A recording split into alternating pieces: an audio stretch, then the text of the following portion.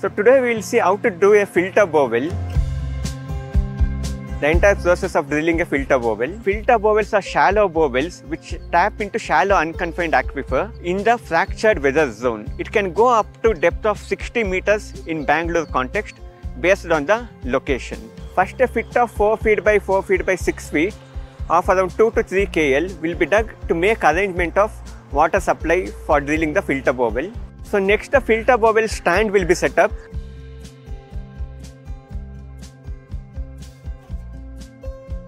You can see here uh, a diesel uh, engine will be there. Then a pump for pumping the water will be there. And then the stand with the, this is the main rod which will be used for drilling. To the main rod, a drilling shaft of one and a half feet diameter by two feet depth will be fixed to the main shaft. Three pipes will, will be seen. You can see the three pipes. So one pipe will be used to pump the water from the pit to the uh, drilling machine and then to the drilling bit. And the third pipe is a return valve taking the water from the uh, from the hole where the borewell is dug back to the pit. The same water will be circulated throughout the drilling process. The water from the pit will help to do the drilling and then, then again the return water will go back to the pit and it will be it will be circulated throughout the process. Only rarely they might be required to fill the pit with the water again. After making all this arrangement, the drilling process will start.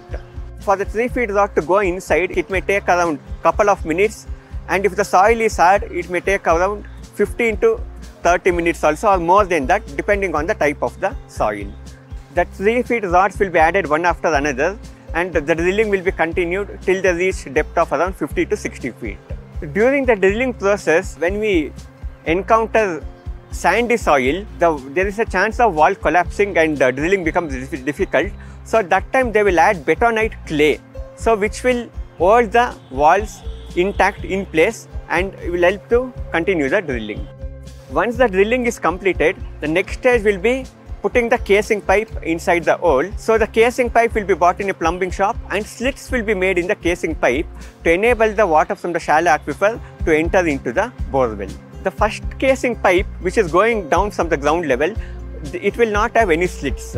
So that to prevent more silt entering into the well or to prevent any surface water or the drainage water entering into the borewell. The borewell width is one and a half feet and the casing pipe is 7 inch in diameter. So around the casing pipe 20 mm jelly will be filled right from the bottom to the top of the borewell. So once the casing pipe is inserted and jelly packing is done, so there will be lot of muddy water in the borewell. So that will be pumped out with the help of a air compressor by pumping in the air and pumping out the water. This process will continue for 2 to 3 days till clear water starts coming out from the borewell.